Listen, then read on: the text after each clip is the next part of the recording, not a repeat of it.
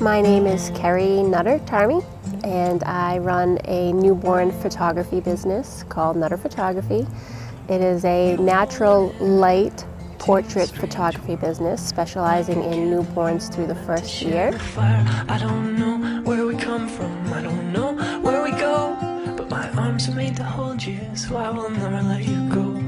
You were born. I use primarily natural light when I'm photographing newborns especially. I, I feel like natural light uh, has a very soft look to it. It really goes well with the creamy skin tones, that soft skin, the flakiness.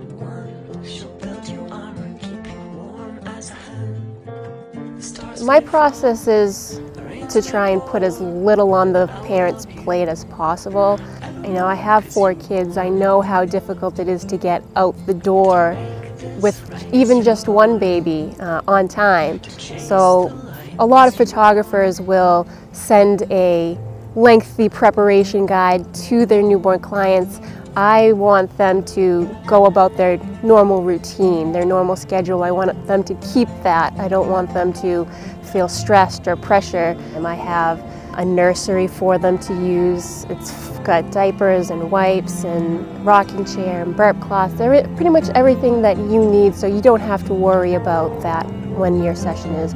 I want you to relax. I want you to take a nap if you want to. Um, I want you to just leave everything to me.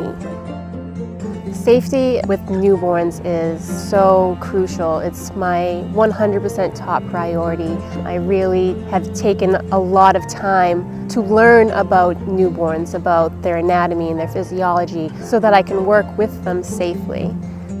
Being a mother, I know what those first few weeks uh, with your new baby are like. They're so small and and they'll never be that small again. And I want these tangible things that I can look back on that I can, I can stare at photos of my children for hours and over and over again. And they just fill me with this happiness. I don't know why we're here, and I don't know how, but I'm here with you